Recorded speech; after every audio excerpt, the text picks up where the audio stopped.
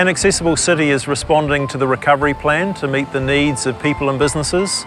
It's providing improved transport options for all users of all abilities um, and improving a range of transport options, whether that's by walking, cycling, public transport or by vehicle access. Less dependence on cars, more um, uh, more reliance on cycles and better buses, so there'll be less bus routes, but there'll be more of them. When you go to wait for a bus, you'll be comfortable. We can balance the modal infrastructure provision to encourage modal shift onto public transport, into pedestrian amenity, i.e. wider foot, uh, footways, better, more opportunity to cross, more time to cross roads.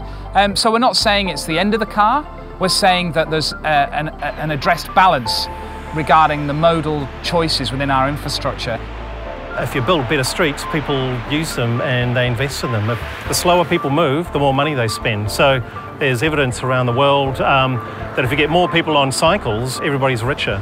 The slow core is going to be a particularly pedestrian-friendly area, but the transport response to that has been to create a safe speed environment, looking for the inner part of the city to be a 30 kilometre an hour area to make it safer and more enjoyable for people within that great destination of central Christchurch. So parking is a very important component of the Central City redevelopment and what we're trying to create really is a, a vibrant central city uh, where parking supports uh, the activities, the businesses, the uh, office workers and other people that want to come into the central city. As we create um, more cycleways, more pedestrian facilities, we're going to actually have to remove some of those car parking spaces. And therefore we have to think about, well, for those remaining on-street car parking spaces, who are we going to let use them? So that'll be mainly prioritised towards your uh, short stay visitors, your people that are doing uh, shopping, uh, certainly not your long stay commuter car park, parkers, and also for your mobility car parks, couriers, people that really need that on-street car parking facility. Also, we're looking at providing off-street car parking. Post-earthquake, population migration to the north and west has put excessive pressure on the road system to access to and from the city. If everybody continues to drive in the morning peaks, for example, we will end up with about 70,000 more vehicles a day coming into the city, which would lead to significantly more congestion than was present before the earthquakes. Um, if we can get a threefold increase in numbers of people cycling and using public transport, primarily for that commute to work or to school, you know, then we can ensure that the vehicles that are using the network can still move um, efficiently through the system.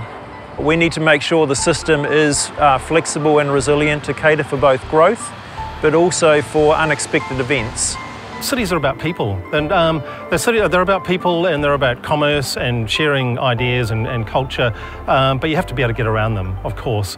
But um, we shouldn't be designing a city from how to get around it first and then um, stitching the urban design into that. You'd, we need to know who we are, what kind of city we want to be, and then make the traffic fit that. We have probably the best design team and the best set of designers we can working on both Accessible City and the Avon River Precinct, different sets of designers, some overlap, and it's really exciting to see such a creative group of people coming together.